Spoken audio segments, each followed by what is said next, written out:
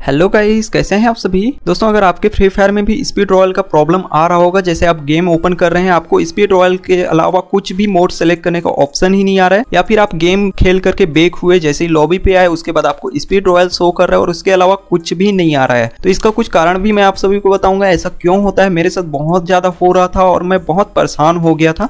तो इसको सॉल्व करने का कुछ टिप्स भी आप सभी को पता चलेगा। तो वीडियो को लास्ट तक ज़रूर देखिएगा। और गाइज़ आपने अभी तक हमारे चैनल को सब्सक्राइब नहीं किए हैं तो सब्सक्राइब सब्सक्राइब ज़रूर कर लीजिए और बेल आइकॉन में से ऑल नोटिफिकेशन को ऑन कर लीजिए। इसमें फ्री फायर से रिलेटेड बहुत सारी जानकारी आपको देखने के लिए मिलेगी। तो चलिए वीडियो शुरू करते हैं। तो दोस्तों, सबसे पहले जान लेते हैं, हम लोग के मोबाइल में स्पीड रॉयल का प्रॉब्लम क्यों आता है? तो ये प्रॉब्लम जो है, एकदम बेसिक सा प्रॉब्लम है फ्री फायर का और ये शुरू से ही आ रहा है और ये एक ही मोबाइल हमारे ही मोबाइल में बस नहीं आ रहा है।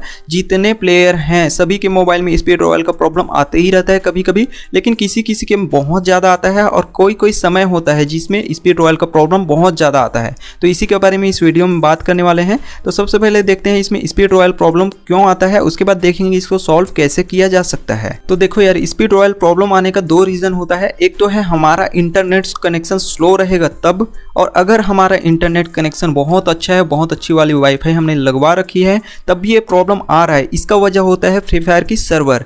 आप देखे होंगे जैसे फ्री फायर में अपडेट आया है तो अपडेट को देखने के लिए क्या क्या नया आया है, देखने के लिए बहुत सारे प्लेयर फ्री फायर में ऑनलाइन रहते हैं। तब इसमें अधिकतर स्पीड रॉयल का हम लोग को प्रॉब्लम दिखाई देता है या फिर फ्री फायर में कुछ अपडेट आने वाला रहता है। डेवलपर टीम कुछ कुछ उसमें नया नया चीज़ें टेस्ट करते रहते हैं। तब भी स्पीड रॉयल का प्रॉब्लम देखने के लिए मिलता है। तो फ्री फायर का बग के कारण इसमें स्पीड रॉयल का प्रॉब्लम रहता है जो सॉल्व नहीं किया जा सकता। हम लोग के द्वारा तो सॉल्व नहीं किया जा सकता। इसको अगर आप रिपोर्ट भी करेंगे या फिर गरीना की टीम से भी बात करेंगे तो उन लोग भी कुछ नहीं करेंगे। जब तक उन लोग का काम खत्म नहीं होगा स्पीड रॉयल शो करते रहेगा। और दूसरा बात है अगर आपका इंटरनेट कनेक्शन स्लो है और आपको स्पीड रॉयल शो कर रहा है, ये सिर्फ़ आपके मोबाइल में शो करेगा। और जो पहले बताया, वो हर एक के मोबाइल में स्पीड रॉयल शो करते रहेगा। वो सिर्फ़ आपका प्रॉब्लम नहीं रहेगा, वो फ्री फायर का प्रॉब्लम रहेगा। उसको कुछ भी नहीं किया जा सकता।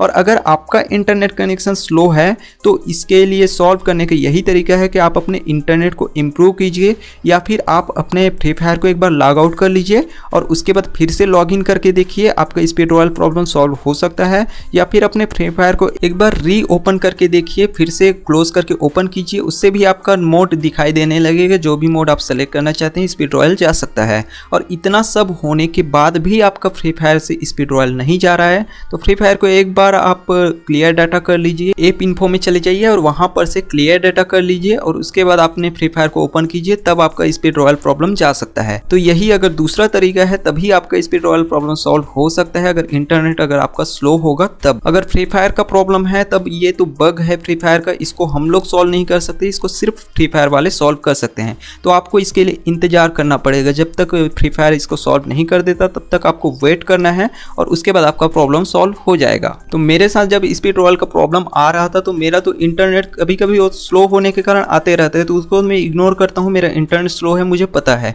लेकिन कभी कभी जब बहुत ज़्यादा आने लगता है, वो फ्री फायर कारण आता है तो मुझे वेट करना ही ठीक लगता है। मैं वेट करता हूँ, उसके बाद वो प्रॉब्लम सॉल्व हो जाता है। सो आई होप गाइज़ मैं आप सभी को समझा पाया हूँ कि ये प्रॉब्लम क्यों आता है और इसको सॉल्व करने का क्या क्या तरीका है। और गाइज़ आपको वीडियो अच्छा लगा होगा तो वीडियो को लाइक ज़रूर कर लीजिए और बेल आइकॉन में से ऑल नोटिफिकेशन को ऑन कर लीजिए। Thank you